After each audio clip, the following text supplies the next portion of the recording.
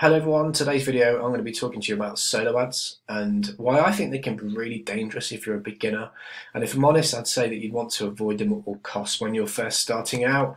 Um, there's a number of reasons and I'm going to go through them with you uh, in a second. You know, the first of which is uh, you know they can be a really unreliable traffic source.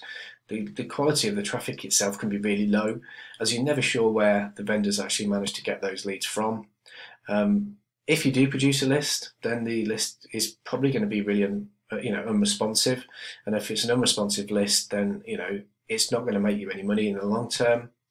It can be a really unstable growth method. It's very much like a roller coaster, depending on the solo ad vendor and the quality of the list. And if you, you don't know that, you could just be pouring money down a drain.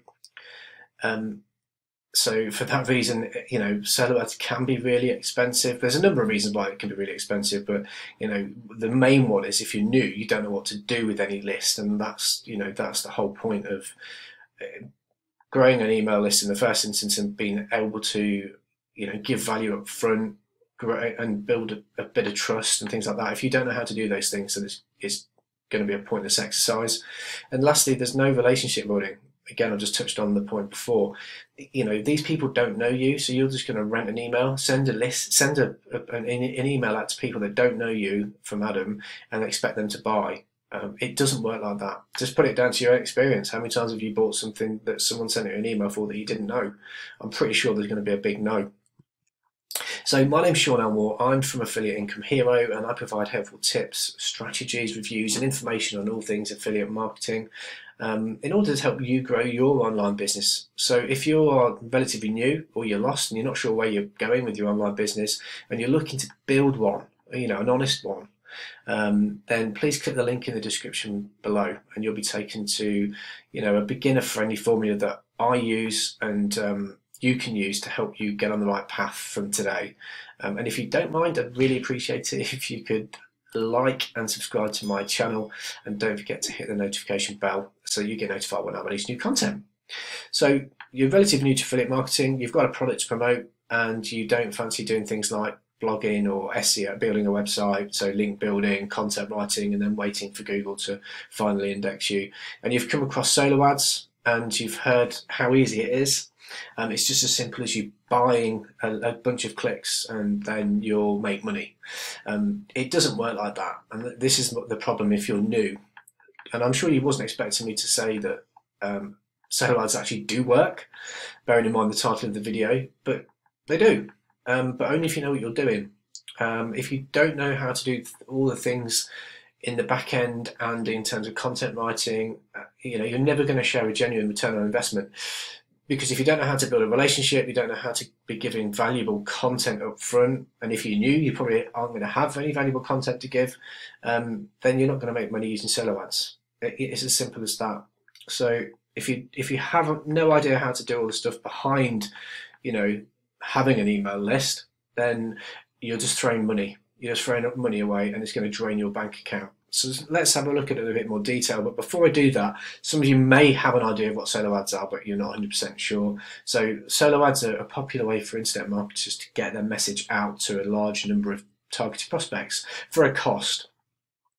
The basic idea is you find someone that owns a large list, so you can go to places like Udimi and then um, find people that have niche related subscribers for your market, and then you rent you rent their list by paying them to send an email that you've written to those subscribers. So it sounds great, but as I said, the traffic itself can be really unreliable and so can the vendors. So the vendor themselves may have um, great sales copy and they'll tell you how great the, the open rates are, the sign up rates, but you don't know him and you don't know how he's got his traffic and his leads. You know, how's he incentivized them to get on the list in the first place? There's no guarantees these leads are really interested in any offer they may have just signed up with the vendor because they got something for free. Um, the problem is that you have no idea of the source or reliability, and it's a gamble. Um, the vendor may send multiple offers to that list as well. Um, so if they get three offers in a day and yours goes out, it's number three in that list, um, they're going to be blinded with offers to the point where yours just goes unnoticed and gets deleted. So it's just been a wasted effort if you do manage to build a list, it can be really unresponsive. Um, at the end of the day, using solo ads is probably, you know, without sounding rude, it's a lazy way to build a list. Um, and once you have those names on your list, they don't know you. And uh, your email goes out to them and it just pops up in their email box. Um, or worse yet, if they use a fake email that they gave to get the free offer in the first instance, um, they don't even see your email. So if your email, um, it's probably just isn't going to get read. And if it does get read, then they don't know you as you've not built up a relationship or given any value. So it'll probably get deleted. So again, you know, the list is going to be unresponsive. So maybe you do get some signups. Let's just say you have got some signups and you have a few people on your list. You know, what do you do with that list? And you know, if you're new to internet marketing, I'm, you're probably thinking, well, I know I will send more offers. I'll go ClickBank, get an offer. I'll send my link to that list, and um, you just email them again. Um, bearing in mind, you know, you don't know how this vendor's built his list, but now you're going to send your email with your name, your face, um, to that list of people that don't know you. So you've got to be really careful because at the end of the day, that they could consider that as spam, and that's not what you want. And again, they'll just delete your email, uh, or even worse than that, they'll report you to your um, your email autoresponder, and then they'll get your account closed. Um, it can be an unstable growth method. Um, there's lots of reasons it's a gamble.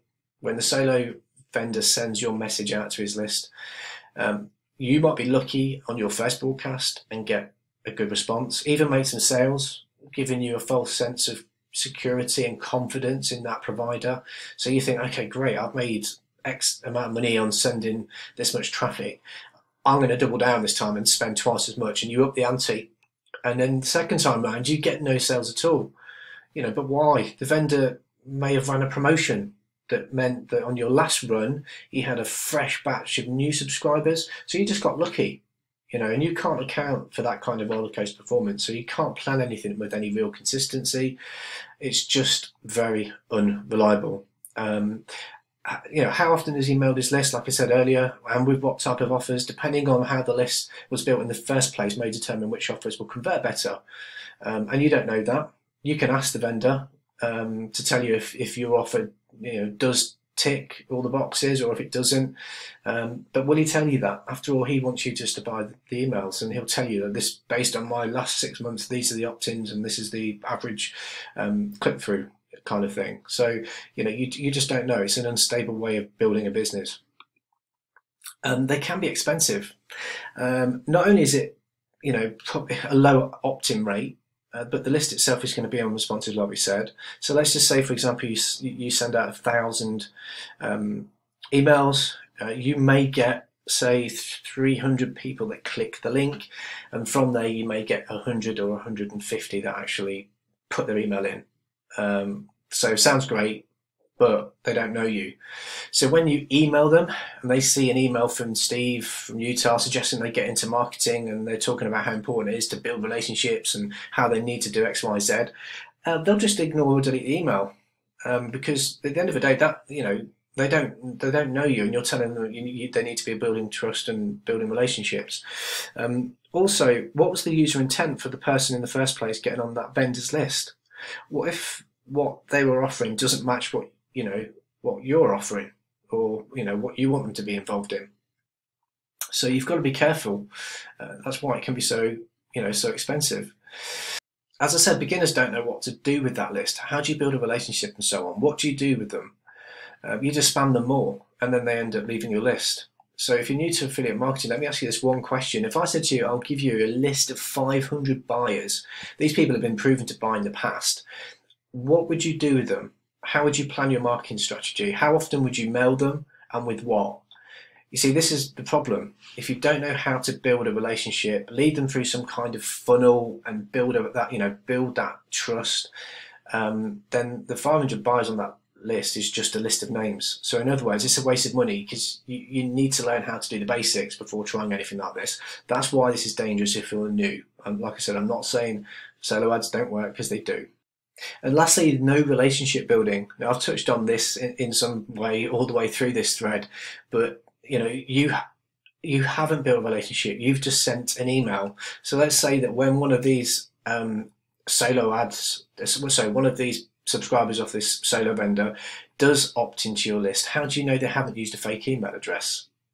Um, they've entered their email address knowing that they're going to get something for free. Um, so they've probably used, they could well have used a fake email because they know that once they put their email in, they're going to get lots of other offers that they're not really interested in.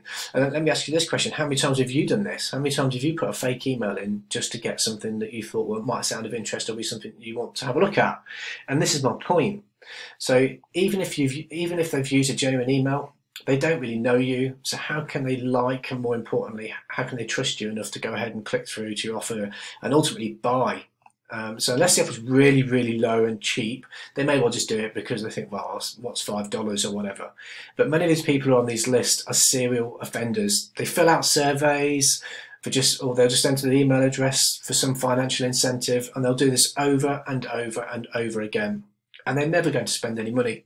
So you need to be able to um, filter the wheat from the chaff when you're doing this kind of thing. And if you haven't got the basic skills behind you to do that, then it's just a waste of money. All these people want is that free offer. They're tie kickers and a waste of your time and a waste of your money. So I hope that makes sense. Um, and I hope you understand, you know, why you need to be more informed before getting your credit card out. Now, solo ads can work, as I said before, but you need some, you know, foundational, you know, fundamental knowledge of what to do with them to ever see a return on investment. So I appreciate um, you watching today. And if you found some value in the video, um, please like, subscribe and share the video and hit the notification bell. And if you, you know, if you are looking to learn the basics of affiliate marketing and how to do it properly, so, you know, you can start making money online, please consider clicking the link in my description to follow the same thing that I do on a daily basis.